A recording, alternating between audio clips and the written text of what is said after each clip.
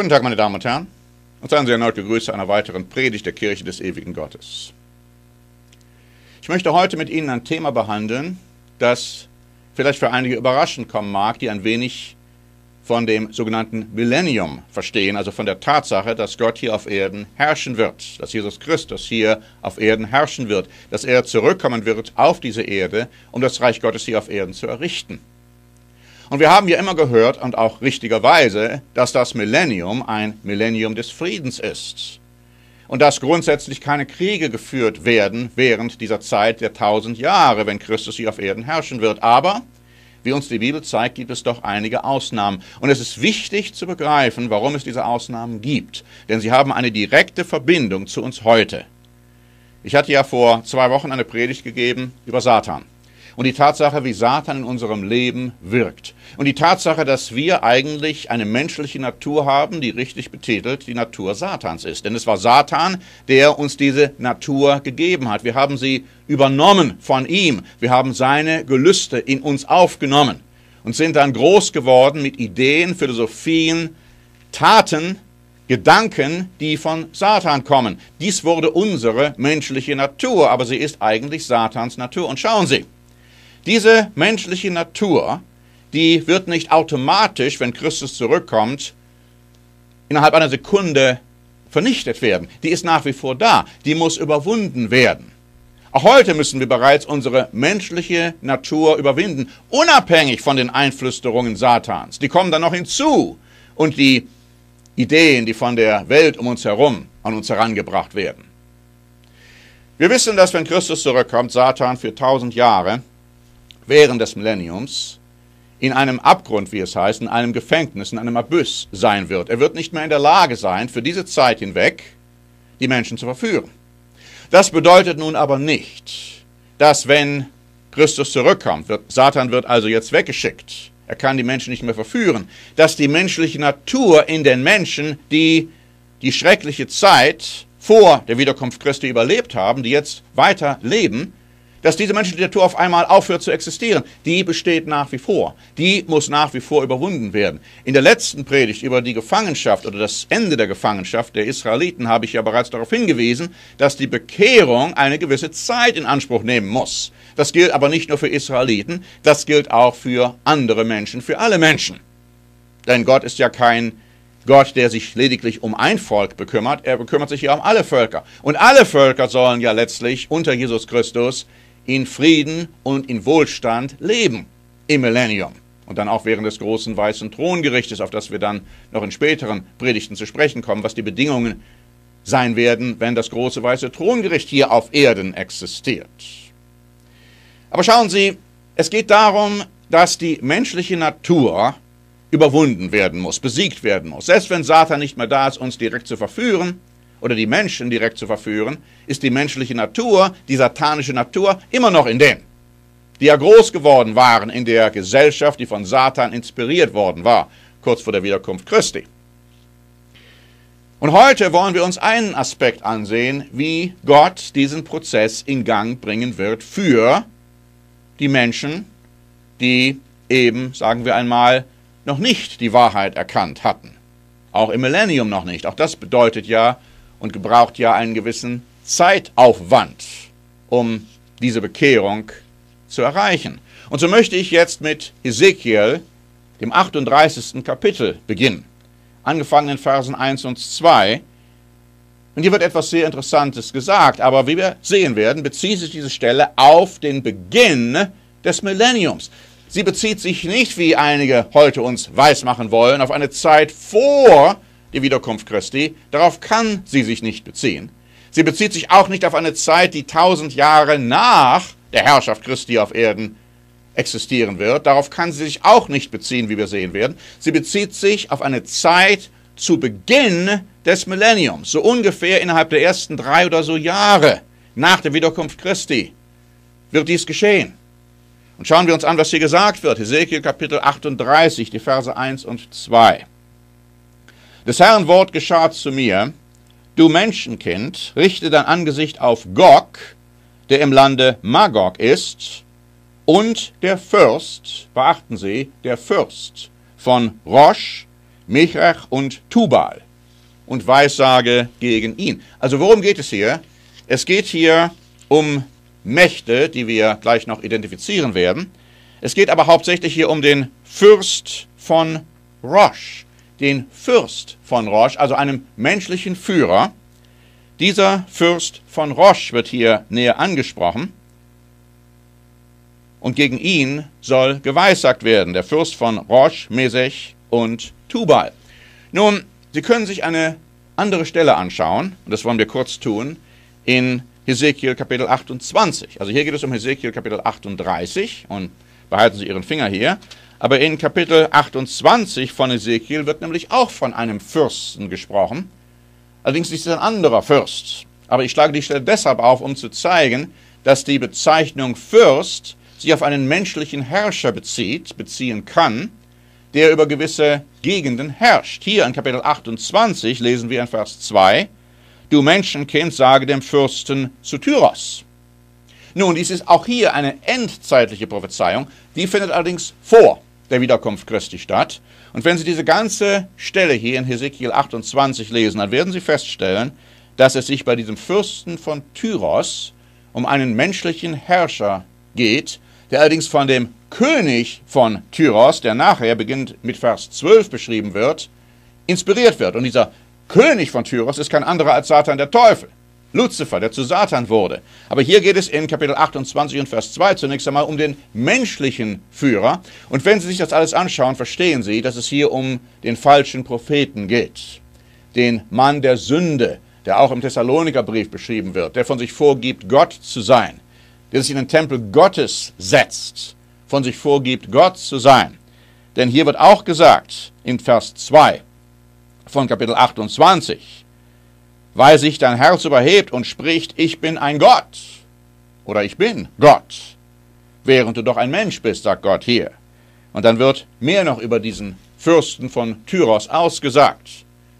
Aber ich kehre jetzt zu Hesekiel 38 zurück, denn hier wird ja auch von einem Fürsten gesprochen, einem menschlichen Führer. In dem Sinne ist er immer noch in der Gewalt Satans, obwohl Satan jetzt nicht mehr da ist, die Menschen verführen zu können. Aber die Natur Satans ist nach wie vor in diesem Fürsten, der die große Trübsal, den Tag des Herrn überlebt hat, der nach wie vor lebt in dieser Gegend, auf die wir jetzt zu sprechen kommen werden.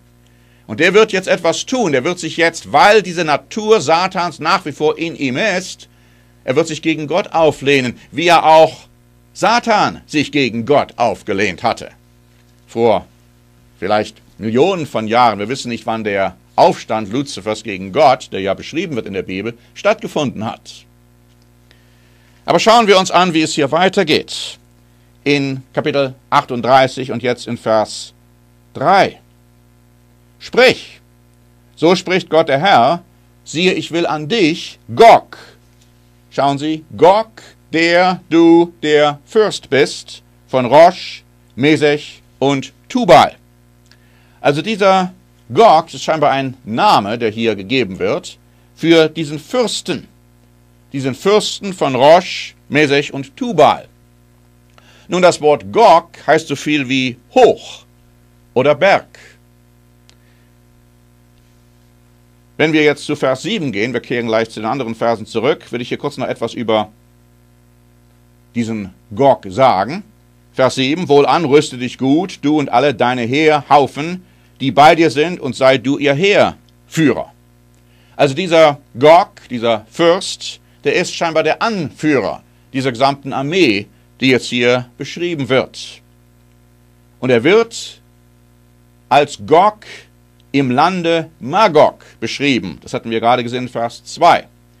Das ist auch wichtig zu verstehen. Er ist also ein Führer über diese Armee, der aus dem Lande Magog kommt.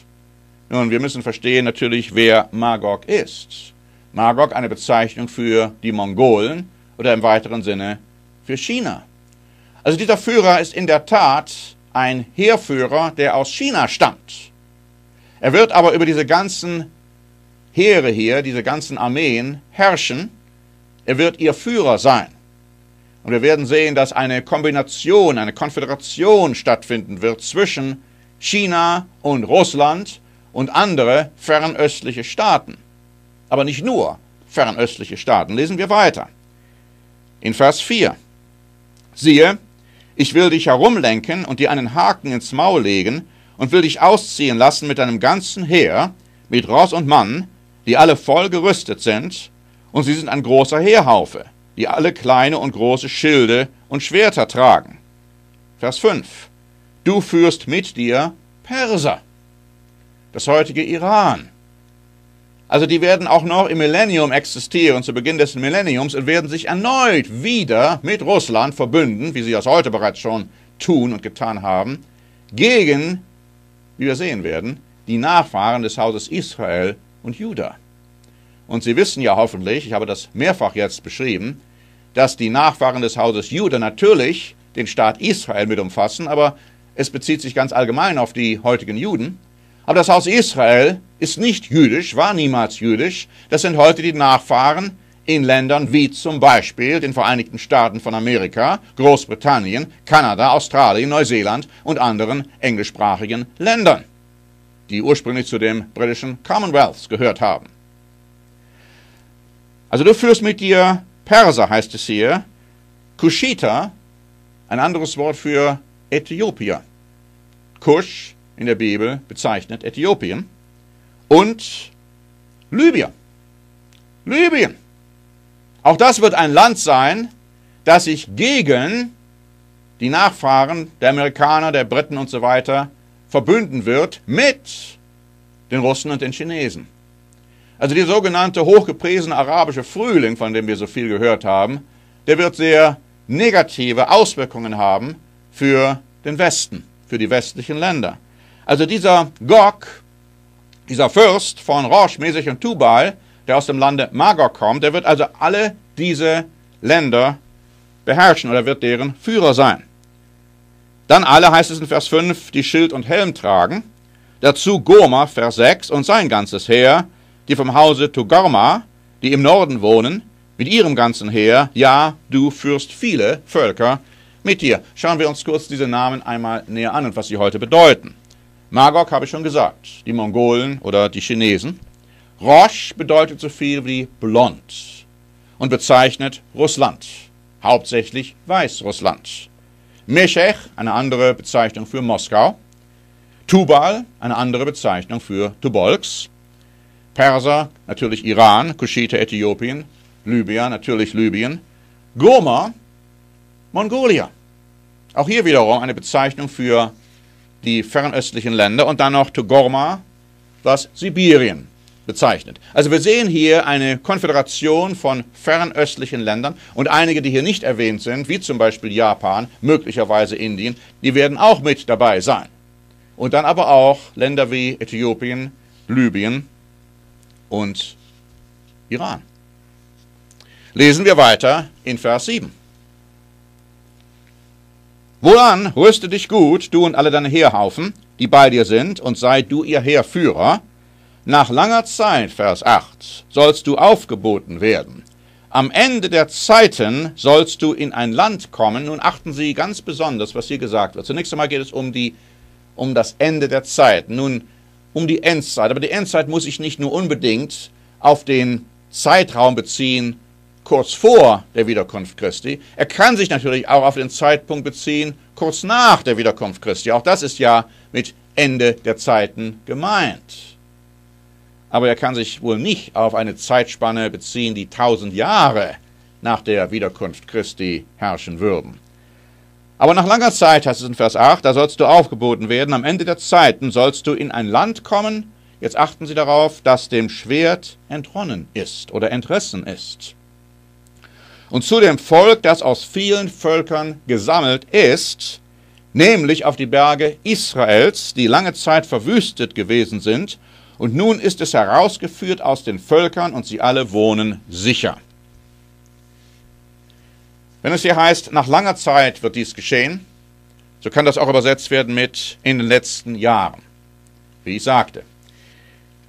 Diese Heere hier, die werden ein Land zu erobern suchen, das verwüstet gewesen war, das aber jetzt nicht mehr verwüstet ist. Nun, wir hatten in der letzten Predigt bereits darauf hingewiesen, dass die Nachfahren des Hauses Israel und Juda in die Sklaverei gehen werden, vor der Wiederkunft Christi. Dass aber Christus nach seiner Wiederkunft diese versklavten Kriegsgefangenen aus der Sklaverei herausholen wird, um sie ins gelobte Land zu bringen. Das ist jetzt der Zeitpunkt, wo sie im gelobten Land sind.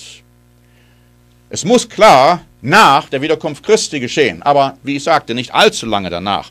Und wenn es heißt, dieses Land, wo sie dann sein werden, das war verwüstet, nun schauen wir uns einige Stellen an, die das näher beschreiben. Wie zum Beispiel, behalten Sie Ihren Finger hier in Ezekiel 38, wie zum Beispiel in Jesaja Kapitel 6.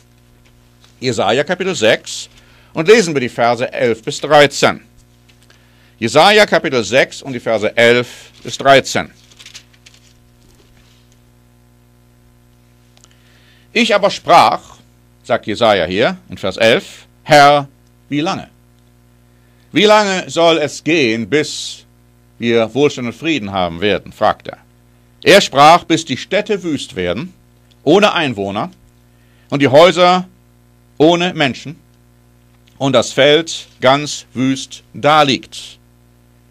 Denn der Herr wird die Menschen weit weg tun, sodass das Land sehr verlassen sein wird. Er spricht hier über die Nachfahren des Hauses Juda hier im Besonderen, aber auch des Hauses Israel. Vers 13. Auch wenn nur der zehnte Teil darin bleibt, so wird es abermals verheert werden. Doch wie bei einer Eiche und Linde, von denen beim Fällen noch ein Stumpf bleibt.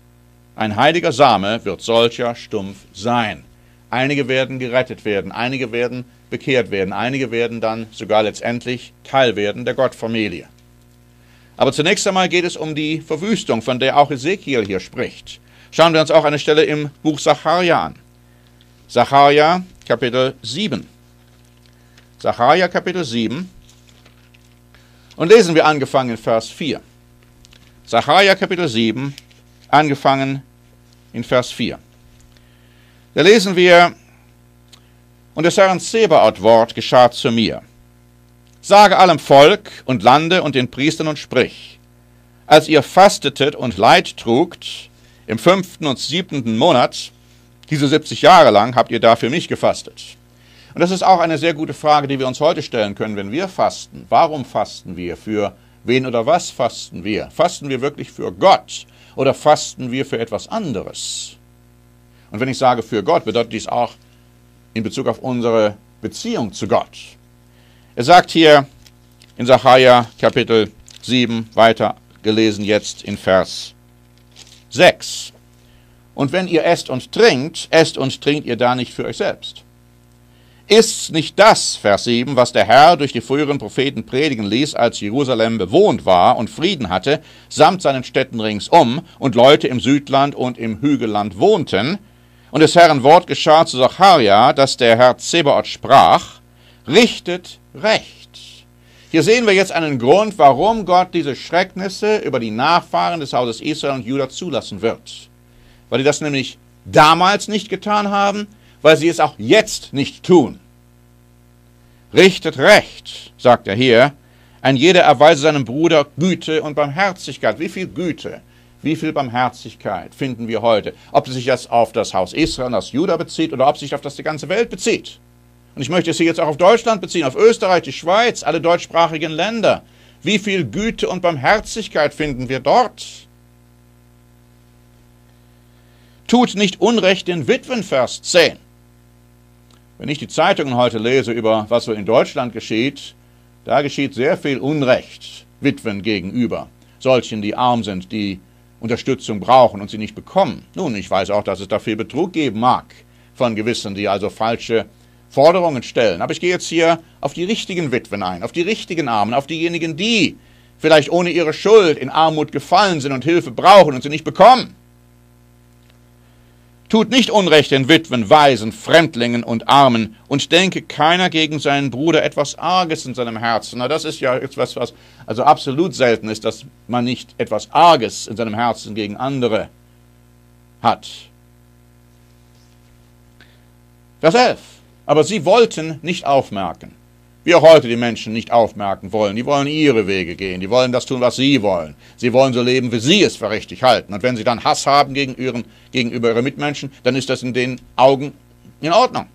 Sie wollten nicht aufmerken und die kehrten mit den Rücken zu und verstockten ihre Ohren, um nicht zu hören. Und machten ihre Herzen hart wie Diamant. Sind ihre Herzen hart wie Diamant? Gehören sie zu solchen, die die Weisung Gottes hören?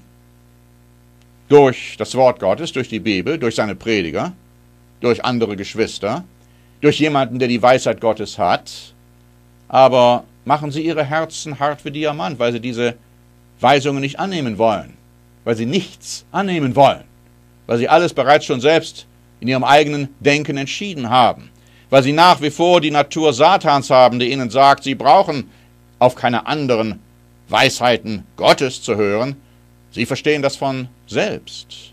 Die machten ihre Herzen hart wie Diamant, damit sie nicht hörten das Gesetz und die Worte, die der Herr Zebaoth durch seinen Geist sandte, durch die früheren Propheten. Wie hat Gott damals den Menschen die Wahrheit beigebracht und nahegebracht? Durch seine Propheten, seine Diener. Wie tut er es heute? Genauso, durch seine Diener.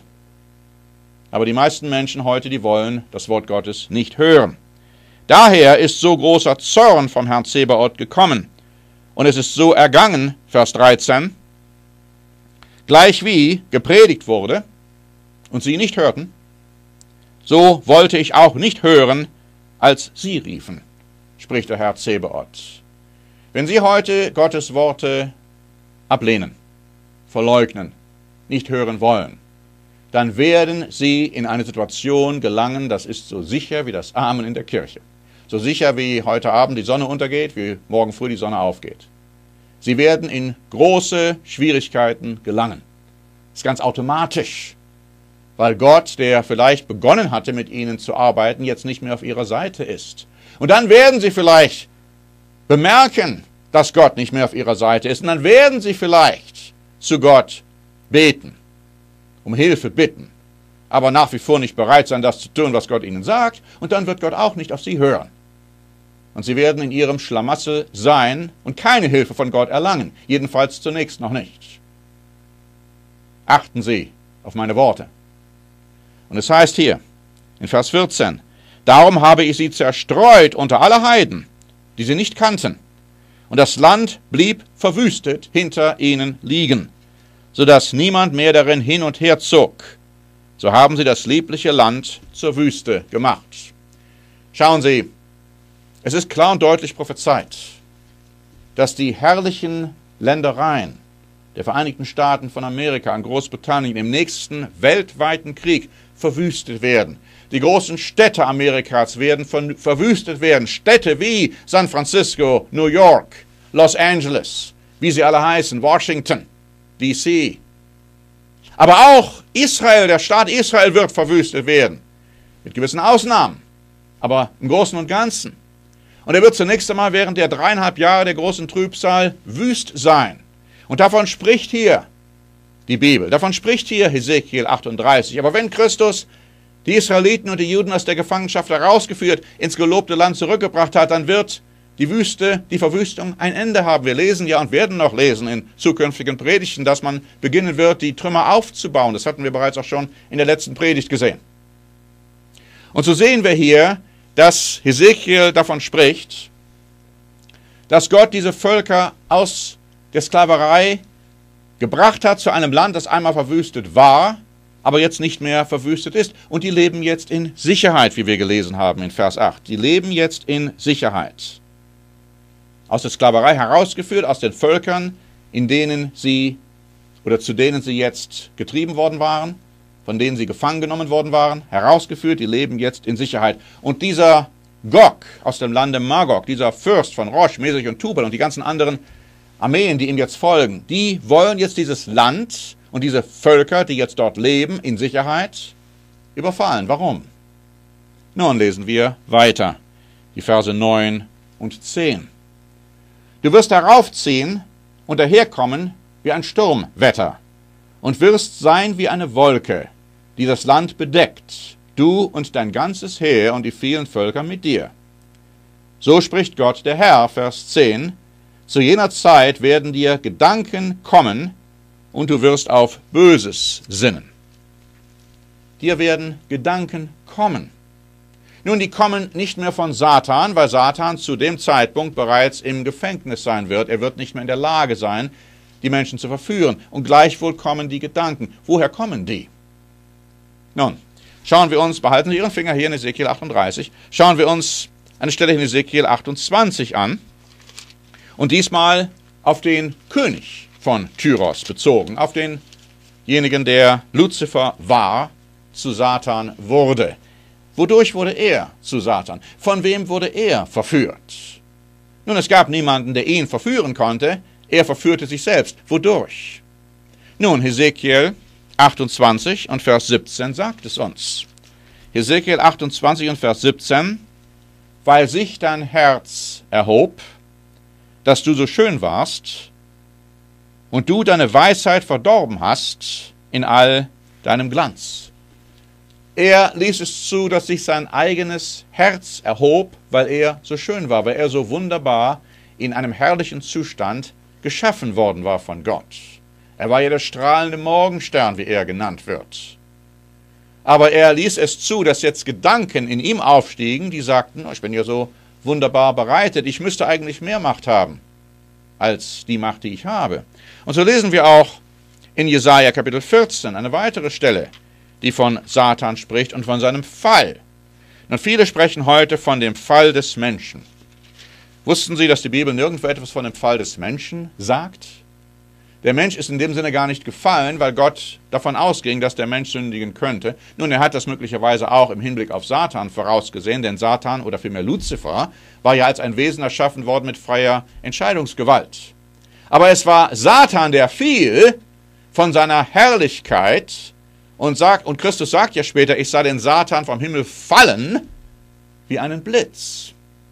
Und hier lesen wir in Jesaja, Kapitel 14 und in Vers 13 über diesen Fall Luzifers, als er zu Satan wurde. Jesaja 14 und Vers 13. Manchmal stellen uns Menschen die Frage, ja, hat Gott einen Satan erschaffen? Die Antwort ist nein. Gott hat Luzifer erschaffen ein herrliches, vollkommenes Wesen, das Abbild der Vollkommenheit, ein herrlicher, schirmender Cherub, wie es heißt, der Morgenstern.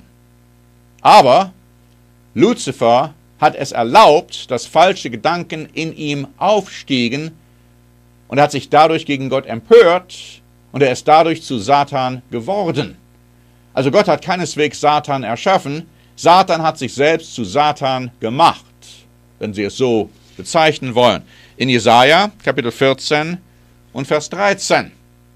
Du aber gedachtest in deinem Herzen. Schauen Sie, er hatte Gedanken, wie auch dieser Fürst von Rosh, Mesech und Tubal Gedanken haben wird. Du hast gedacht in deinem Herzen, ich will in den Himmel steigen und meinen Thron über die Sterne Gottes, die anderen Engel, erhöhen, ich will mich setzen auf den Berg der Versammlung im fernsten Norden. Satan wurde von niemandem verführt, er hat sich selbst verführt, wenn man das so sagen will. Er hat erlaubt, dass falsche Gedanken in ihm aufstiegen. Jetzt kehren wir zu Ezekiel 38 zurück. Jetzt schauen wir uns diesen Fürsten Gog an aus dem Lande Magog, der Fürst über Rosh, Mesech und Tubal. Was wird hier gesagt? In Vers 10. Zu jener Zeit werden dir Gedanken kommen, und du wirst auf Böses sinnen. Schauen Sie, er hat nach wie vor die menschliche Natur, diese satanische Natur in ihm. Und die erlaubt es nun, dass wiederum böse Gedanken in ihm aufsteigen und er gibt sich denen hin, anstatt dass er sie überwindet. Schauen Sie, auch wir müssen nach wie vor unsere menschliche Natur überwinden, gegen sie ankämpfen. Und wie ich sagte, hinzu kommt noch, dass Satan jetzt noch aktiv dabei ist, uns zu verführen und seine Gelüste einzugeben. Wir müssen sehr aufpassen, dass wir nicht auf die Falle Satans hineintappen, in die hineintappen, in seine Grube, die er uns graben will, hineinfallen. Satan ist der brüllende Löwe, wie ich sagte. Die menschliche Natur, die haben wir nach wie vor. In jedem Falle müssen wir sie überwinden. Schauen Sie, wenn wir getauft werden, wenn wir in das Wassergrab hineinsteigen, das ist ja symbolisch dafür, dass unsere alte Persönlichkeit begraben wird. Wir sollen jetzt eine neue Kreatur, als ein neuer Mensch aus diesem Wassergrab heraufsteigen. Das bedeutet aber dann auch nicht, dass unsere menschliche Natur in dem Augenblick gestorben ist. Die ist nach wie vor da. Die müssen wir jetzt aber überwinden. Wir bekommen jetzt nämlich eine göttliche Natur dadurch, dass Gottes Geist in uns gegeben wird. Und Gottes Geist kann uns die Kraft geben, Satan und unsere Natur in uns zu überwinden. Wir müssen aber nach wie vor willig sein, Gott in uns wirken zu lassen nach der Taufe. Und wenn Anfeindungen kommen, wenn Versuchungen kommen, wenn Einflüsterungen kommen, wenn, sagen wir einmal, Versuchungen kommen, dann müssen wir begreifen, wo die herkommen. Die können von Satan kommen, die können aber auch aus unserer eigenen menschlichen Natur herauskommen. Dass wir erlauben, in unserem eigenen Denken jetzt Böses zu ersinnen. Wie das hier in diesem Falle mit dem Fürsten von Rosh, Mesech und Tubal der Fall sein wird. Lesen wir weiter. In Vers 11. Das ist das, was er denken wird. Er wird denken, ich will das Land überfallen, das offen daliegt, und über die kommen, die still und sicher leben, die alle ohne Mauern dasitzen und haben weder Riegel noch Tore. Schauen Sie, das kann sich nicht auf eine Zeit beziehen vor der Wiederkunft Christi. Das ist absolut unmöglich. Weder der Staat Israel, ganz besonders nicht der Staat Israel heute. Und auch Amerika und Großbritannien, die leben nicht so, wie hier beschrieben wird. Die leben keineswegs still und sicher. Die leben keineswegs ohne Mauern, ohne Regel, ohne Tore. Die haben ihre Armeen, um sich zu verteidigen, gegen Terroristen zum Beispiel, auch möglicherweise gegen andere Feinde, oder die auch willens sind, diese Armeen einzusetzen, um gegen andere Länder vorzuziehen. Also das kann sich keineswegs auf die Zeit beziehen, kurz vor der Wiederkunft Christi. Es bezieht sich eindeutig auf eine Zeit nach der Wiederkunft Christi. Aber da jetzt betont wird, dass die aus den Völkern herausgeholt worden sind und dass die jetzt sicher wohnen, bezieht es sich offensichtlich auf einen Zeitpunkt zu Anfang, nicht zu Ende des Millenniums. Es würde wenig Sinn machen, tausend Jahre später davon zu sprechen, dass Gott tausend Jahre zuvor die Menschen aus der Versklavung herausgeholt hat. Der zeitliche Zusammenhang ist das Herausholen aus der Versklavung, das Bringen in das gelobte Land und jetzt wird die Situation beschrieben hier, wenn diese feindliche Armee kommt, um über das Land herzufallen. Das heißt, diese wollen gegen ein Volk kämpfen, das still oder friedlich und sicher lebt, ohne Mauern und Riegel. Nun, hier müssen wir uns einiges anschauen. Es geht nämlich um Mauern und Riegel, die Schutz geben sollen vor Feinden. Denn lesen wir in Jesaja Kapitel 9, halten Sie Ihren Finger in Ezekiel 38, Jesaja Kapitel 9 und lesen wir die Verse 4 bis 6. Jesaja Kapitel 9 und die Verse 4 bis 6. Da heißt es zunächst einmal, was Gott tun wird, wenn er zurückkommt. Eine Stelle, die wir alle kennen sollten, die wird sehr häufig zum Beispiel zur Weihnachtszeit gelesen, obwohl Weihnachten absolut gar nichts damit zu tun hat. Weihnachten, wie wir alle wissen sollten, ist ein heidnisches Fest, hat nie etwas mit der Geburt Christi zu tun gehabt, denn Christus ist ja keineswegs im Dezember geboren worden.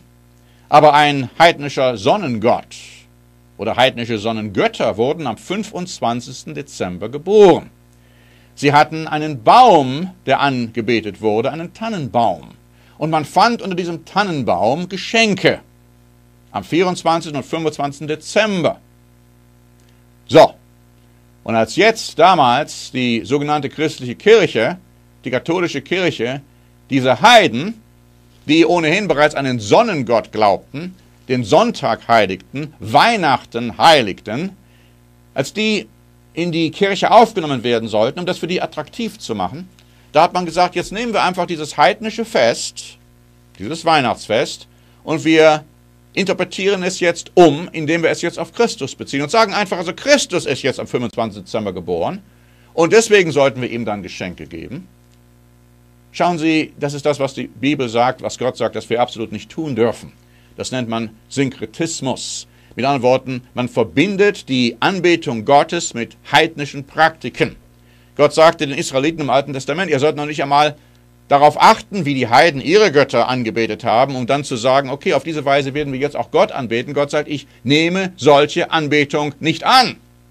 Christus sagte, ihr dient mir vergeblich, weil ihr Gottes Gebote übertretet und sie durch menschliche Traditionen Ich möchte hinzufügen, wie zum Beispiel Weihnachten oder Ostern oder dieses schreckliche Halloweenfest, was hier natürlich in Amerika gefeiert wird, aber mehr und mehr jetzt auch in Deutschland und in anderen deutschsprachigen Ländern, um die dadurch zu ersetzen.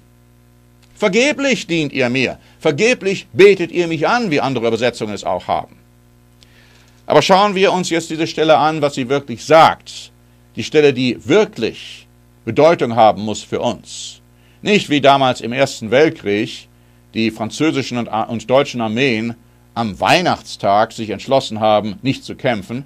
Und dann, nachdem Weihnachten vorüber war, haben sie weiter gekämpft. Darum kann es nicht gehen. Es geht, wie ich sagte, um die Änderung der menschlichen Natur. Aber Christus muss zunächst einmal zeigen, was der richtige Weg ist. Und so lesen wir hier in Vers 4 von Jesaja Kapitel 9.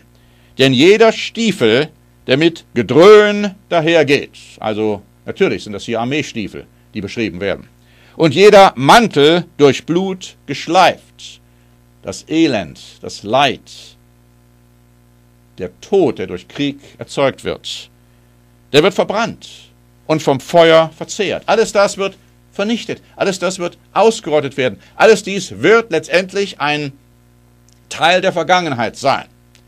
Wir lesen ja auch, dass die Menschen nicht mehr Krieg lernen wollen, nicht mehr lernen werden, Krieg zu führen. Warum wird dies geschehen? Wieso wird dies geschehen? Wodurch wird dies geschehen? Vers 5, denn uns ist ein Kind geboren.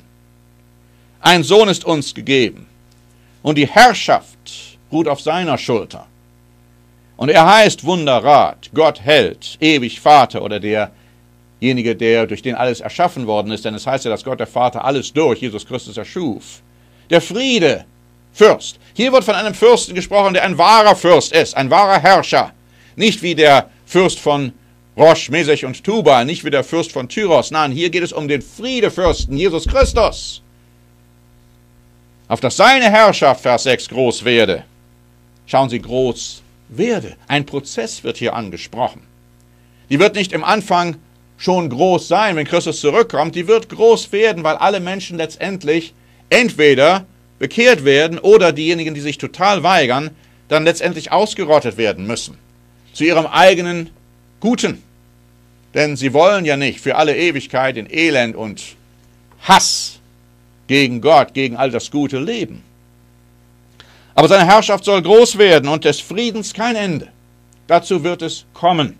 Und wie wir hier in Hesekiel 38 sehen werden, wird Gott eingreifen, um dies deutlich zu machen, damit die Menschen erkennen werden, damit Israel, das Haus Israel, das Haus Juda und alle Menschen erkennen werden, dass er Gott ist, der Herrscher, der alleinige Herrscher über alle Lande, wie es heißt.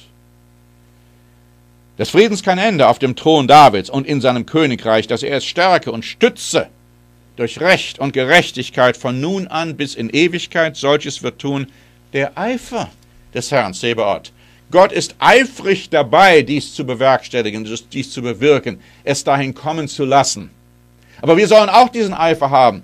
Wir werden zum Beispiel aufgefordert, lasst ihm keine Ruhe, heißt es. Lasst Gott keine Ruhe, betet zu ihm, bis er das Heil aufrichte. So auch für die Stadt Jerusalem, weil ja letztendlich Christus von Jerusalem aus herrschen wird. Tun Sie dies. Beten Sie täglich, dein Reich komme. Aber nicht nur als Floskel, nicht nur so als lapidare Aussage, sondern verstehen Sie, was Sie dann auch beten. Dein Reich komme. Warum? Weil es nur das Reich Gottes ist, das überhaupt die Möglichkeit hat, Frieden zu bringen. Nur allein durch das Reich Gottes hier auf Erden wird es zu Frieden kommen. Die menschlichen Versuche seit 6000 Jahren Frieden zu bringen haben alle total versagt und werden weiterhin versagen. Der arabische Frühling ist der größte Blödsinn, den es gegeben hat. Die Idee, dass die westlichen Länder dies unterstützt haben, die haben ein Frankenstein-Monster für sich geschaffen. Es wird weltweite Kriege geben, wie wir lesen. Wenn Christus nicht zurückkommen würde, würde kein Mensch am Leben bleiben.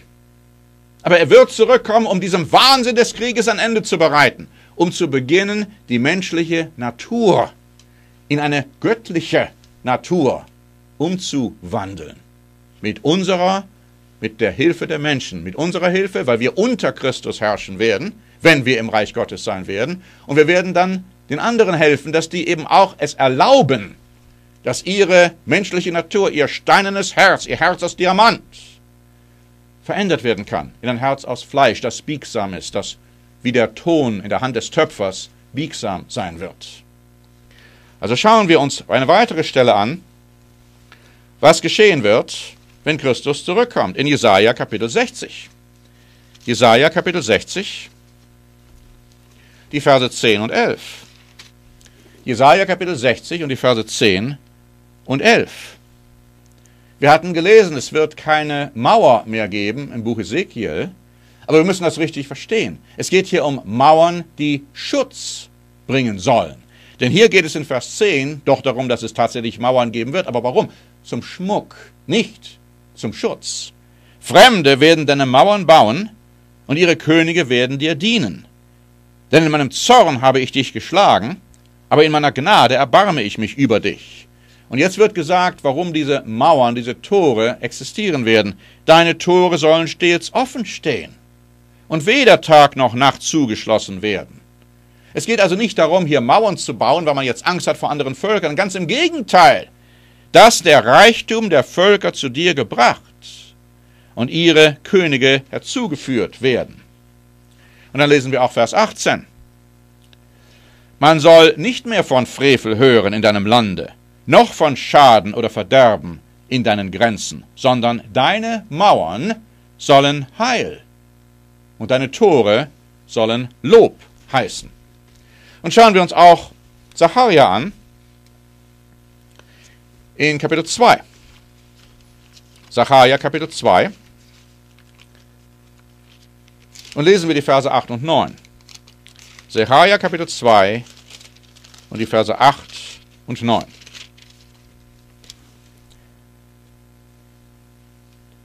Spricht zu ihm. Zacharia Kapitel 2 und Vers 8.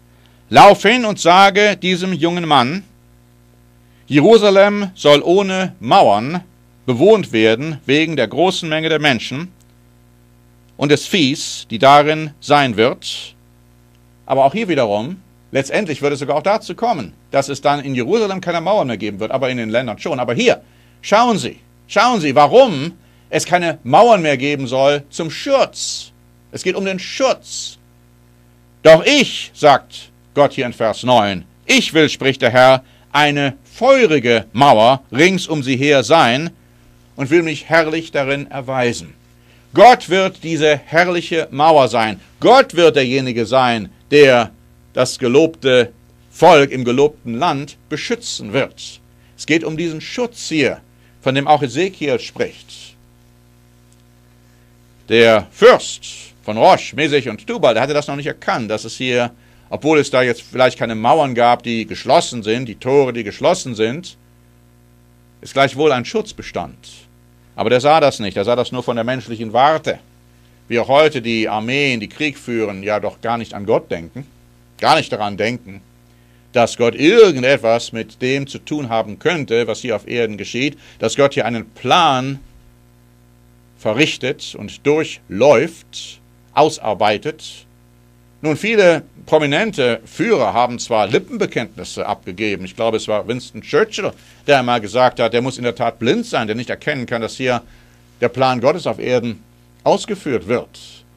Aber auch er hatte natürlich kein richtiges Verständnis vom Plan Gottes. Und so haben andere Führer auch dies hin und wieder gesagt, aber nie so recht verstanden. Und dieser zukünftige Fürst, der hat es auch nicht verstanden, wird es auch nicht verstehen. So lesen wir weiter jetzt in Vers 12, wie es weitergeht. Der sagt hier also, das ist jetzt ein Land ohne Mauern. Die haben weder Regeln noch Tore, mit anderen Worten, die sind, die fühlen sich sicher, die brauchen keinen physischen Schutz. Vers 12, die Gedanken kommen, damit du rauben und plündern kannst und deine Hand an die zerstörten Orte legst, die wieder bewohnt sind. Also hier auch wiederum klar die Bezugnahme auf den Beginn, nicht das Ende des Millenniums, denn da sind die ja schon lange bewohnt worden und lange aufgebaut worden. Und an das Volk, Vers 12, das aus den Heiden gesammelt ist und sich Vieh und Güter erworben hat und in der Mitte der Erde wohnt. Vers 13. Saba Dedan und die Kaufleute von Tarsis und alle seine Gewaltigen werden zu dir sagen, bist du gekommen zu rauben? Und hast du deine Heerhaufen versammelt zu plündern, um Silber und Gold wegzunehmen und Vieh und Güter zu sammeln und große Beute zu machen? Schauen Sie, darum geht es. Das sind die bösen Gedanken, die jetzt zunächst einmal in dem Gehirn dieses Fürsten von Roche aufsteigen und der jetzt alle anderen unter seiner Führung dazu überzeugt und dazu bringt, ihm zu folgen. Die wollen kommen, um zu rauben. Die wollen Gold, Silber und all das, was an Reichtum, wir hatten ja gesehen, dass die Könige ihre Reichtümer nach Jerusalem bringen werden, alles das, was jetzt da sein wird, das wollen die denen wegnehmen. Eine satanische Gedankenfolge. Aber Satan ist mittlerweile im Gefängnis, kann die Menschen nicht mehr verführen, aber deren menschliche Natur ist nach wie vor vorhanden. Ihre Gelüste sind nach wie vor vorhanden. Es heißt ja, dass Christus zu den Menschen damals gesagt hat, die Gelüste eures Vaters wollt ihr tun. Und so wollen sie nach wie vor dies tun. Sie wollen also Silber und Gold rauben. Aber eine interessante Stelle findet sich in Jesaja Kapitel 13. Schauen wir uns kurz an. Es geht nämlich hier um die modernen Russen. Die sind in der Bibel hauptsächlich als die Meder identifiziert. Die Menschen aus der Ukraine und aus Russland. Aber wenn die einen Angriff starten gegen Europa, der noch kommen wird, ich hatte dies in einer Predigt über die Zerstörung Europas näher beschrieben, dann haben die ganz andere Motivationen dann geht es nicht darum, deren Gold und Silber zu erhalten. Jesaja Kapitel 13 und Vers 17 sagt uns nämlich folgendes. Jesaja 13 und Vers 17. Gott sagt, ich will die Meder gegen sie erwecken, das moderne Babylon, das moderne babylonische System der zehn europäischen Gruppen oder Länder, die sich zurzeit in Europa formen, die werden, wie wir ja wissen, ihre Herrschaft für eine Stunde, wie es heißt, ungefähr dreieinhalb Jahre, an das Tier übertragen. Aber Russland und eine Konföderation der Könige des Ostens, wie wir im Buch der Offenbarung lesen, die werden gegen Europa vorgehen.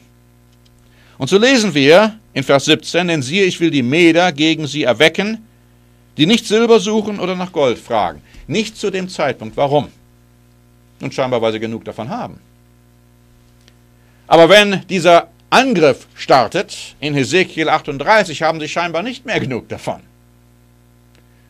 Andeuten, dass es möglicherweise zu einer absoluten weltweiten Wirtschaftskatastrophe kommen wird. Aller Wahrscheinlichkeit nach, durch diesen weiteren Krieg, der kommen wird, der alles vernichten und zerstören wird. Und jetzt wollen sie wieder Gold und Silber, Reichtümer erwerben. Und sie meinen, ja, nun können wir gegen das gelobte Land ziehen, denn die haben jetzt ja genug. Gegen die gehen wir jetzt vor. Ezekiel 38, Vers 14. Darum so weissage, du Menschenkind, und sprich zu Gog. So spricht Gott der Herr. Ist es nicht so? Wenn mein Volk Israel sicher wohnen wird, dann wirst du aufbrechen. Israel wird sicher wohnen. Warum wird Israel sicher wohnen? Nun, sie werden sich nicht mehr auf Kriegführung verlassen. Sie werden sich auf Gott verlassen. Sie werden diese feurige Mauer erkennen, die um sie gelagert ist, wie zum Beispiel auch damals im Alten Testament, es eine sehr schöne Episode gibt, wo ich glaube, es war Elisha und sein Knecht, die waren von Armeen umzingelt. Aber der Elisha, der sah etwas, was der Knecht nicht sehen konnte. Der sah nämlich, dass seine ganze Umgebung von Engelwesen belagert war, von Engeln mit feurigen Rossen. Und er betete dann zu Gott und sagte, lass meinen Knecht auch sehen, Gehasi, was ich sehe. Und dann wurden dem Knecht die Augen aufgetan. Und er sah jetzt die Armee der Engel, die da waren, sie zu beschützen.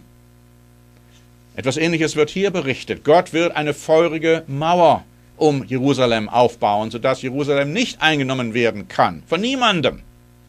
Er wird ihr Schutz sein. Er könnte auch heute bereits das, der Schutz unserer Nationen sein wenn wir friedlich leben würden, wenn wir so leben würden, wie Gott es von uns erwartet. Er kann bereits heute ihre feurige Mauer sein, wenn sie ihn in ihr Leben einlassen wollen und wenn sie so leben wollen, wie er es will. Sacharja Kapitel 9. Lesen wir Sacharja Kapitel 9. Und lesen wir Vers 10. Sacharja Kapitel 9 und Vers 10. Das ist das, was Gott tun wird, wenn er zurückkommt. Sacharja Kapitel 9 und Vers 10. Ich will die Wagen wegtun aus Ephraim. Kriegswagen sind damit gemeint. Ephraim, das heutige Großbritannien hauptsächlich, aber auch Kanada, Australien, Neuseeland. Ich will die Wagen wegtun aus Ephraim. Und die Rosse, Kriegsrosse, Panzer könnte man heute sagen, aus Jerusalem. Und der Kriegsbogen soll zerbrochen werden.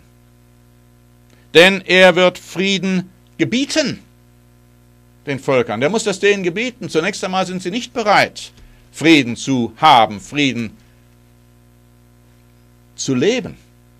Und wie wir ja sehen in diesem Buch Ezekiel 38, dieser König von Rosh, Mesich und Tuba und die Armeen, die ihm folgen, die sind keineswegs bereit, in Frieden zu leben. So Gott wird denen Frieden gebieten. Ich will denen Frieden gebieten und seine Herrschaft wird sein, letztendlich, dieser Prozess wird hier wieder angedeutet, von einem Meer bis zum anderen und vom Strom bis an die Enden der Erde. Das wird das Endresultat sein, wenn Christus hier auf Erden herrschen wird. Aber die Menschen müssen dahin gebracht werden, dies zu akzeptieren. Lesen wir weiter. In Vers 15.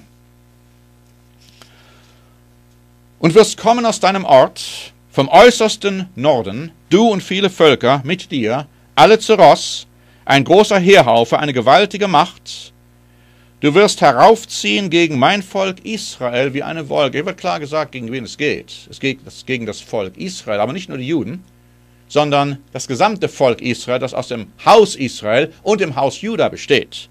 Du wirst heraufziehen gegen mein Volk Israel wie eine Wolke, die das Land bedeckt.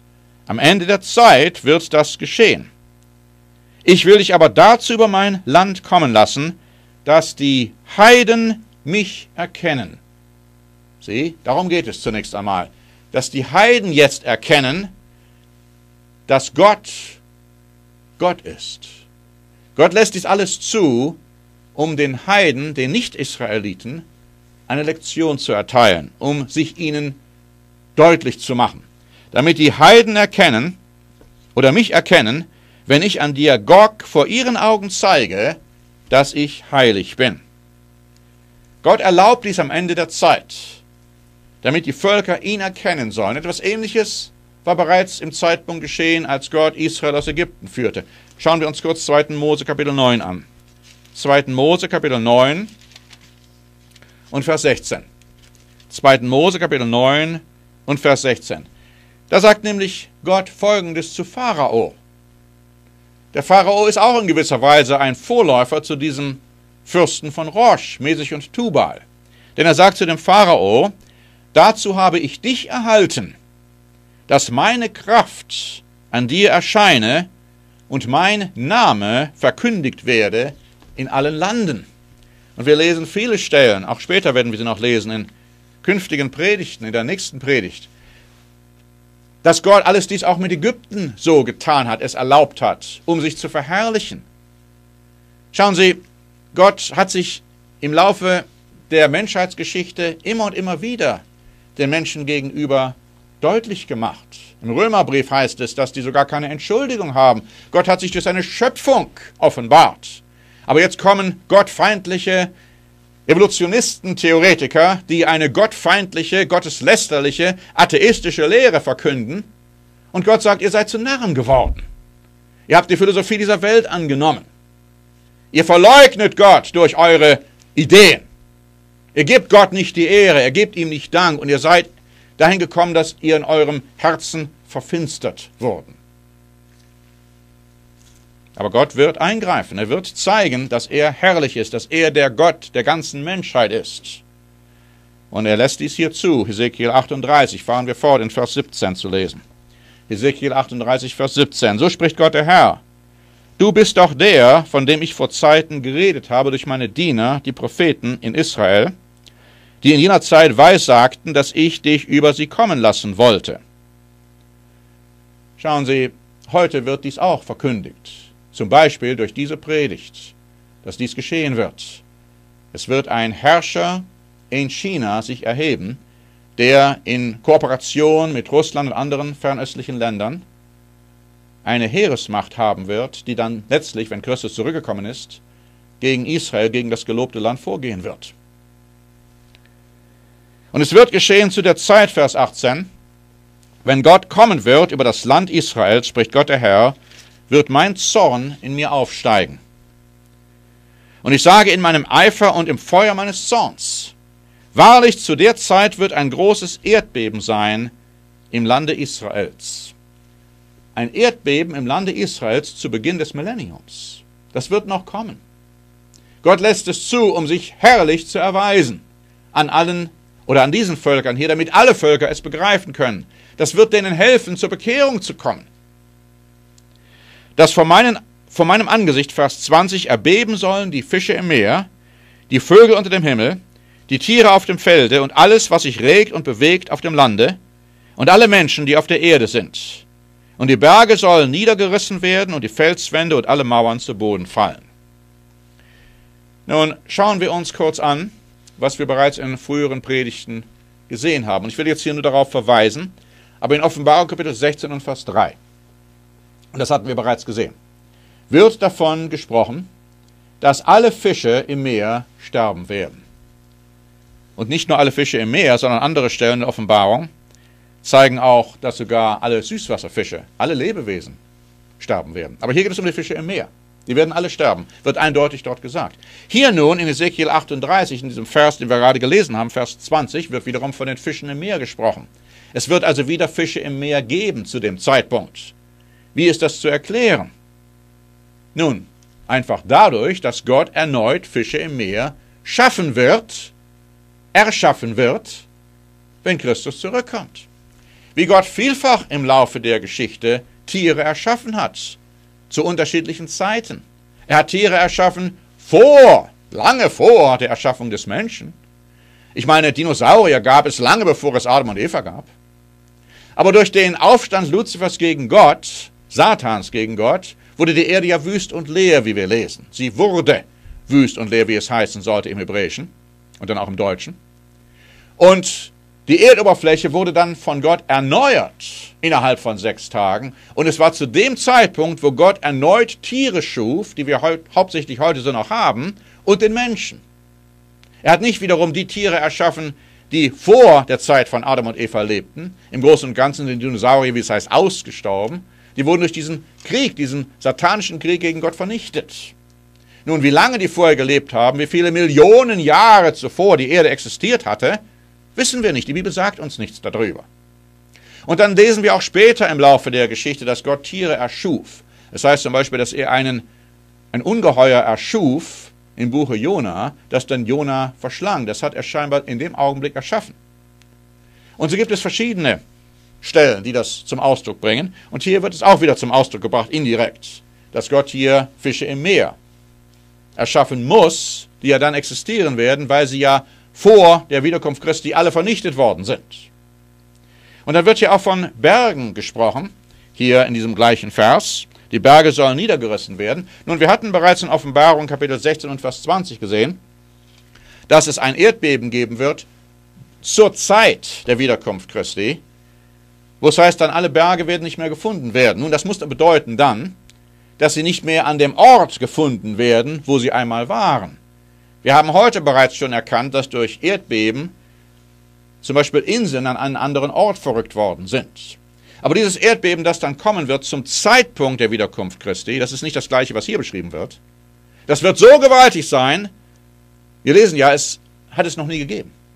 Es wird eine solchen gewaltige Ausmaß haben, dass, wie gesagt, sogar die Berge von ihrer Stelle verrückt werden. Das nur nebenbei. Jetzt weiter in Ezekiel Kapitel 38 und Vers 21. Und ich will über ihn das Schwert herbeirufen. Auf allen seinen Bergen spricht Gott der Herr, dass jeder sein Schwert gegen den anderen erhebt. Also wie wird Gott jetzt umgehen? Wie wird er seinen Schutz gegenüber dem Volk Israel erweisen? Indem er es dazu bringt, dass sich die Menschen in dem Heer dieses Fürsten selbst gegeneinander bekämpfen. Auch das hat es häufig gegeben in der Bibel, wird das mehrfach erwähnt, in der Vergangenheit. Es wird aber auch zum Beispiel erwähnt, dass es in der Zukunft stattfinden wird, im Zeitpunkt der Wiederkunft Christi. Schauen wir uns kurz Sacharja Kapitel 14 an. Aber wie gesagt, es gibt andere Stellen, wo das auch deutlich wird, dass Gott die Menschen dahin bringt, die Feinde seines Volkes, seine Feinde, sich gegenseitig umzubringen zu zerfleischen. Sacharja Kapitel 14 und Vers 13. Da lesen wir nämlich etwas Ähnliches. Zu der Zeit, wenn Christus zurückkommt, wenn seine Füße auf dem Ölberg stehen, wie es heißt, wird der Herr eine große Verwirrung unter ihnen, denjenigen, die jetzt gekommen sind, gegen Christus zu kämpfen, der wird eine große Verwirrung unter denen anrichten, sodass einer den anderen bei der Hand packen und seine Hand wieder des anderen Hand erheben wird. Also auch dann wird das geschehen. Auch in der Zukunft, wenn der Fürst von Rosh, Mesech und Tubal kommen wird, wird das geschehen. Die werden sich gegenseitig bekämpfen. Israel braucht nicht zu kämpfen. Israel wird auch hier wiederum eine Lektion erhalten. Diejenigen, die vielleicht noch nicht so überzeugt davon sind, dass man vielleicht doch nicht in den Krieg ziehen muss, die werden deutlich sehen, Gott wird für sie kämpfen wie damals Gott für sie kämpfte, als sie aus Ägypten herausgezogen waren, als sie vor dem Roten Meer standen. Und das Rote Meer hat sich gespalten und sie konnten hindurchgehen wie auf trockenem Boden. Und als dann die Ägypter versuchten es zu tun, wurden sie von dem Meer ersäuft. Und Mose sagte ihnen, Gott wird für euch kämpfen. Ihr werdet stille sein, oder wie es auch übersetzt werden kann, ihr werdet euren Frieden behalten. Eine Lektion, die der Mensch nie gelernt hat in diesem Leben. Deswegen haben wir Kriege, deswegen haben wir Kriegsdiskussionen, deswegen meinen wir, wir müssten was tun, Frieden zu bringen. Hat noch nie geklappt, wird nie klappen, solange wie der Mensch die Dinge in den Händen hat. So wird Gott umgehen, aber er wird noch mehr tun. Ezekiel 38 und Vers 22. Und ich will ihn richten mit Pest. Auch das wird Gott zulassen. Ich will ihn richten mit Pest und Blutvergießen und will Platzregen mit Hagel, Feuer und Schwefel über ihn und sein Heer und über die vielen Völker kommen lassen, die mit ihm sind. Wie damals Gott Feuer und Schwefel über Sodom und Gomorra heruntergeschüttet hat, wird er es wieder tun. Er wird auch mit Pest und anderen Dingen, wie zum Beispiel Hagel, gegen sie vorgehen. Er wird diese Armee total vernichten. Alle werden es sehen, alle werden erkennen, dass Gott der wahre Herrscher ist über diese Erde, dass er es nicht, nicht mehr zulassen wird. Bis auf eine Ausnahme, auf die wir in der nächsten Predigt noch zu, zu sprechen kommen werden. Er wird es aber grundsätzlich nicht mehr zulassen, dass Menschen Kriege führen. Das sollte uns heute doch etwas sagen. Wir sollten doch heute auch erkennen, wie ungöttlich, wie satanisch es ist, wenn unsere Führer unsere Kinder nehmen und sie zum Kanonenfutter vorbereiten für Kriege. Aber die menschliche Natur von Satan beeinflusst sieht es eben anders. Und wir sind alle so verführt, so verführt, dass wir einfach nicht begreifen, wie absolut ungöttlich Kriegführung ist. Kriegführung durch Menschen. Man hätte gemeint, dass diese unglaublichen, schrecklichen Kreuzzüge des Mittelalters uns etwas gelehrt hätten die unglaublichen Ereignisse im Ersten und Zweiten Weltkrieg uns etwas gelehrt hätten. Die Bibel sagt, es hat absolut nichts gebracht, denn der Mensch wird sogar in einem dritten Weltkrieg versuchen, sich gegenseitig zu vernichten. Wenn Gott kommt, wird alles dies, all dieser Wahnsinn, dieser satanische, dämonische Wahnsinn ein Ende haben. Danken wir Gott, dass es bald geschehen wird. Beten wir zu Gott, lassen wir ihm keine Ruhe, bis er das Reich Gottes hier auf Erden errichtet bis er seinen Sohn zurückschickt, um das Reich Gottes hier zu errichten. Hier geht Gott mit einer Pest vor. In Sacharja Kapitel 14 und Vers 17 lesen wir eine andere Strafe, die er gewissen Völkern bringen wird, die sich weigern, zum Beispiel das Lapüttenfest zu halten. Auch da sagt man heute, ja, das braucht man ja nicht mehr halten, das sind ja diese alten jüdischen jährlichen Festtage, die sind ja für heute uns nicht, nicht mehr ver, äh, verbindlich. Nun, Gott sieht das ganz anders. Und im Millennium wird er darauf bestehen, dass jeder das Laubhüttenfest hält. Und es wird einige wieder geben, wie auch heute, die sagen, ja, das brauchen wir ja nicht zu tun, wir sind ja keine Juden. Ich meine, die, die Festtage, die heiligen Festtage waren ja nie für die Juden gegeben worden, sondern für die Israeliten. Und wenn sie ein Christ sind, sind sie heute ein geistlicher Israelit. Nebenbei gesagt. Aber hier in Sacharja Kapitel 14 und Vers 13 lesen wir, oder vielmehr, das hatten wir gelesen, lesen wir in Vers 16. Sacharja 14, Vers 16. Und alle, die übrig geblieben sind von allen Heiden, die gegen Jerusalem zogen, die werden jährlich heraufkommen, letztendlich, letztendlich. um anzubeten den König, den Herrn Zebaoth und um das Laubhüttenfest zu halten. Warum sagt das Gott hier zu Ende des Buches Sacharja? Etwas, was in der Zukunft geschehen wird, wenn die Idee besteht, dass man das nicht mehr zu halten braucht, dass das abgeschafft sei. Aber über das Geschlecht auf Erden, das nicht heraufziehen wird nach Jerusalem, um anzubeten den König, den Herrn Zebaoth, über den wird es nicht regnen. Schauen Sie, das wird die Strafe sein, die Gott zunächst einmal über solche Völker bringen wird. Die werden keine gute Ernte haben. In dem Falle von Hesekiel 38 musste Gott in großer Schärfe vorgehen. Das waren absolute Rebellen, die jetzt versuchen wollten, die Israeliten zu vernichten, deren Land in Besitz zu nehmen, von denen alles zu rauben. Aber hier ist das nicht notwendig, dass auf diese Weise vorgegangen wird. Wir sehen also hier die Barmherzigkeit und die Gerechtigkeit und die Diskretion, mit der Gott vorgeht. Er sagt, über die wird es nicht regnen. Vers 18. Und wenn das Geschlecht der Ägypter nicht heraufzöge und käme, so wird auch über sie die Plage kommen, mit der der Herr alle Heiden schlagen wird, wenn sie nicht heraufkommen, um das Laubhüttenfest zu halten. Was ist die Plage? Wir hatten es gerade gesehen, über die wird es nicht regnen. Es wird dann eine schlechte Ernte für die geben. Wiederum, die Strafe ist abhängig von der Tat und auch von der Motivation. Und einige, die brauchen eben keine so starke Strafe, andere brauchen stärkere Strafen, um zur Besinnung zu kommen. In diesem Falle war eine absolut schnelle, wichtige und durchgreifende Strafe im Buch Ezekiel 38 notwendig. Und so lesen wir jetzt zum Abschluss der heutigen Predigt Vers 23, den letzten Vers im 38. Kapitel. Wir werden dann in der nächsten Predigt mit Kapitel 39 fortfahren. So, Vers 23, nachdem alles dies so geschehen ist, wie es hier beschrieben wird, so will ich mich herrlich und heilig erweisen und mich zu erkennen geben vor vielen Heiden, dass sie erfahren, dass ich der Herr bin. Viele Heiden sollen erfahren, dass Gott der Herr ist. Und auf diese Weise werden sie diese Erkenntnis erlangen. Als Parallelstelle schnell noch 2. Mose Kapitel 7. Wie ich bereits schon gesagt habe, das war damals im Falle von Ägypten ähnlich. Da hat auch Gott das so getan, hätte es ja auch ganz anders tun müssen. Es war ja keine Notwendigkeit, dass er jetzt diese zehn Plagen über Ägypten ausschüttete. Er hat es getan aus verschiedenen Gründen. Aus verschiedenen Gründen. Hier ist einer davon. 2. Mose Kapitel 7 und Vers 5. 2. Mose Kapitel 7 und Vers 5. Er sagt, und die Ägypter sollen inne werden, dass ich der Herr bin, wenn ich meine Hand über Ägypten ausstrecken und die Israeliten aus ihrer Mitte wegführen werde. Und dann auch in Kapitel 14, 2. Mose, Kapitel 14 und Vers 18, wo es heißt, und die Ägypter sollen inne werden, dass ich der Herr bin, wenn ich meine Herrlichkeit erweise an dem Pharao und an seinen Wagen und Männern. Die Ägypter sollen dies erkennen. Nun, die meisten sind da natürlich gestorben im Roten Meer, werden aber in der zweiten Auferstehung wiederkommen, werden sich an alles das erinnern können, was geschehen ist. Und hier das gleiche gilt in Ezekiel 38 für diese Gog und Magog Scharen.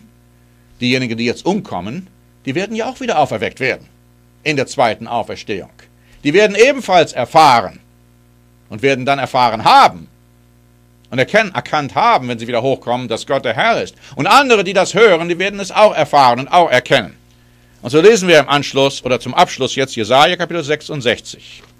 Jesaja Kapitel 66, die Verse 18 bis 21. Schauen Sie, wenn Gott etwas tut, dann ist das wohlgetan, wie das alte Kirchenlied sagt. Es ist richtig. Was Gott tut, ist wohlgetan. Gott weiß genau, warum er es tut. Wenn Sie Probleme haben in Ihrem Leben, dann fragen Sie sich, ob da irgendwie Gott Ihnen etwas zeigen will. In den meisten Fällen ist das so. Nun, es kann sein, dass Gott Ihre Stärke prüfen will.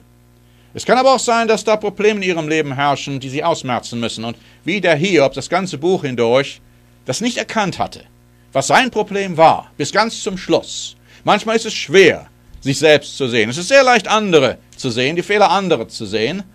Aber es ist so, wie der Jakobus es sagt, wenn man sich vor den Spiegel stellt, dann sieht man sein Gesicht und dann geht man weg und dann vergisst man, wie man war.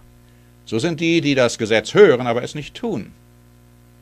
Ah, dieses schreckliche Gesetz. Christus kam doch, das Gesetz abzuschaffen. Das höre ich immer und immer wieder. Ich bin jetzt frei in Christus. Ich bin frei zu tun, was ich will. Ja? Wenn Sie sündigen, sind Sie nach wie vor ein Knecht der Sünde. Haben nicht die Freiheit Christi erlangt. Die Freiheit Christi hat sie von der Sünde und der Strafe des Todes befreit. Aber nicht dazu, dass sie jetzt weiter sündigen. Wie Paulus sagte, sollen wir mehr sündigen, dass die Gnade umso mächtiger werde, deren Verurteilung, deren Verdammnis sei gerecht. Es geht darum, dass wir frei geworden sind von der Sünde und Knechte Christi geworden sind. Knechte der Gerechtigkeit. Und alle Gebote Gottes werden als Gerechtigkeit definiert. Jesaja, Kapitel 66, die Verse 18 bis 21. Jesaja, Kapitel 66 und die Verse 18 bis 21. Ich kenne ihre Werke und ihre Gedanken. Und ich komme, um alle Völker und Zungen zu versammeln, dass sie kommen und meine Herrlichkeit sehen. Und ich will ein Zeichen unter ihnen aufrichten. Und einige von ihnen, die errettet sind, zu den Völkern senden, nach Tarsis, nach Put und Lut, nach Meshech und Rosh, nach Tubal und Javan. Alle diese Länder hier werden mit eingeschlossen, von denen wir gerade in Ezekiel 38 gehört haben. Schauen Sie, die Armeen, die werden zwar vernichtet werden, aber es werden ja noch Völker dort leben. Menschen. Und die werden jetzt davon Kenntnis erlangen. Gott wird jetzt Missionare sozusagen dorthin schicken, um denen das zu erzählen, um denen das begreiflich zu machen, was hier geschehen ist, wie Gott sich herrlich erwiesen hat. Und es das heißt hier, und zu den fernen Inseln, wo man nichts von mir gehört hat. Aber dann wird man von Gott hören. Und die meine Herrlichkeit nicht gesehen haben, dann werden sie von Gottes Herrlichkeit hören und sie sehen. Und sie sollen meine Herrlichkeit unter den Völkern verkündigen. Vers 21. Oder vielmehr Vers 20. Und sie werden alle eure Brüder aus allen Völkern herbringen, dem Herrn zum Weihgeschenk auf Rossen und Wagen, in Sänften, auf Maultieren und Dromedaren nach Jerusalem zu meinem heiligen Berge, spricht der Herr, gleich wie Israel die Opfergaben in reinem Gefäße zum Hause des Herrn bringt. Vers 21. Und ich will auch aus ihnen Priester und Leviten nehmen, spricht der Herr. Die werden dann ebenfalls ausgebildet werden, dann zurückzukehren in ihre Länder und Gottes Herrlichkeit und Wahrheit zu verkünden. Das ist Teil des Planes Gottes, wie er alle Menschen letztendlich zu seiner Wahrheit führen wird.